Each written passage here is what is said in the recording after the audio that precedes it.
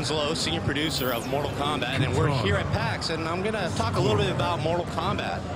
So, uh, where you're seeing right now is a uh, beginning of a tag team get, uh, game.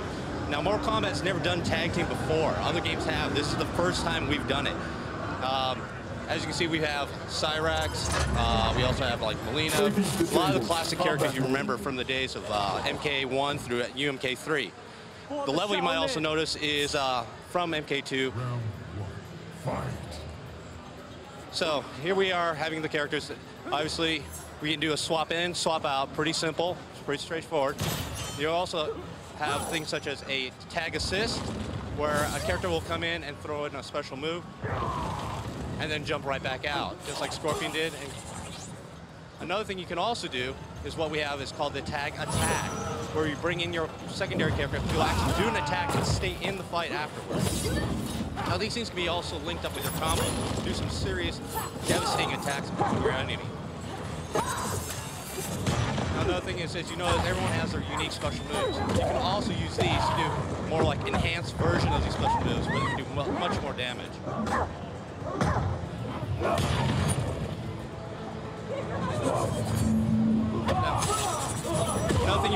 Is that we have a, a, meter at the bottom where you can do some serious damage between one another. One of the things we can also do is the X-ray.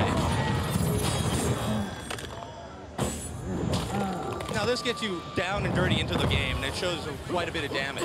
Every character has his own unique X-ray.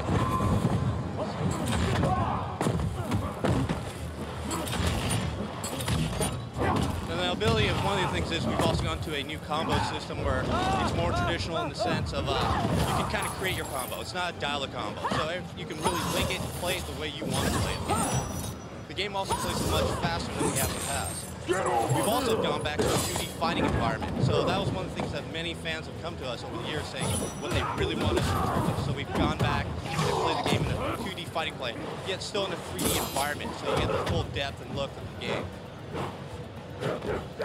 This also allows us to do a lot more uh, detail with the characters that we haven't done in the past. So if you look at the characters, you can see the textures of the leather, of the metal. We also can do also be able to do a lot more damage to the characters. We're, we're going back to the blood. We're going back to the violence. Um, and this is really what you know a lot of fans want for MK.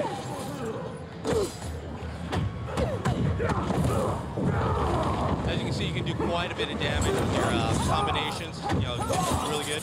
We also have things such as breaker. So if you get stuck against somebody who's really good at combos, you can also pull off a breaker to kind of stop the action and hopefully reset and turn the tables on your opponent.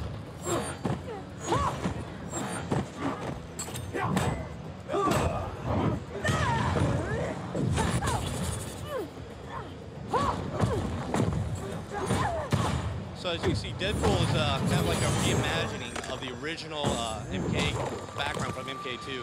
And what we've really done is kind of gone back and you know looked at the things that you know made MK great. And a lot of the guys on the team were actually grew, grew up playing Mortal Kombat. So this is kind of like their homage to the uh, Mortal Kombat of the arcade days. And uh, that was more of like a 2011 take on it. And there we go. Now, of course, you couldn't really have Mortal Kombat with, of course, fatalities, and that's something we've definitely brought back just to get in, because that's what people want, and uh, that's what we wanted to do. Oh, here we go.